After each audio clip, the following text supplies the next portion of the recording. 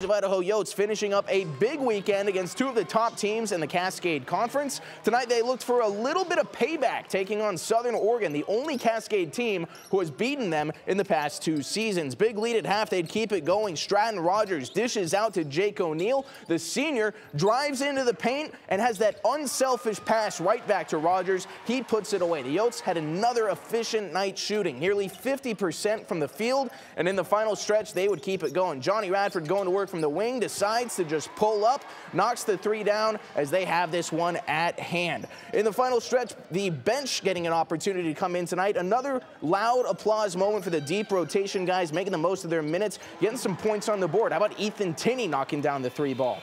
This one ended without any drama. The Yotes would storm ahead to an 82 to 50 victory. Drew Wyman leading the way once again with 22 points. Newcomer Alex Germer added 11. And now with 13 wins in a row, the Yotes have really really shown how far they've come since their first conference loss back on December 1st.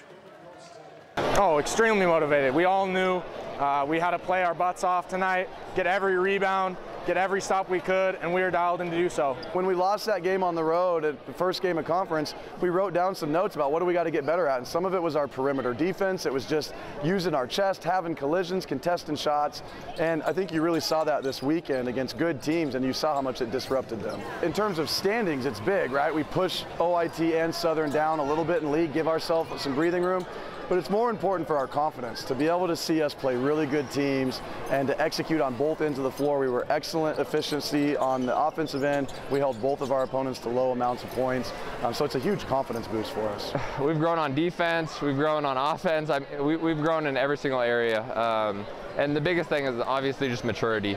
Um, we got old dudes, and once you kind of get a little experience, 20 games in, the confidence starts to go up, and um, you see us hit our stride.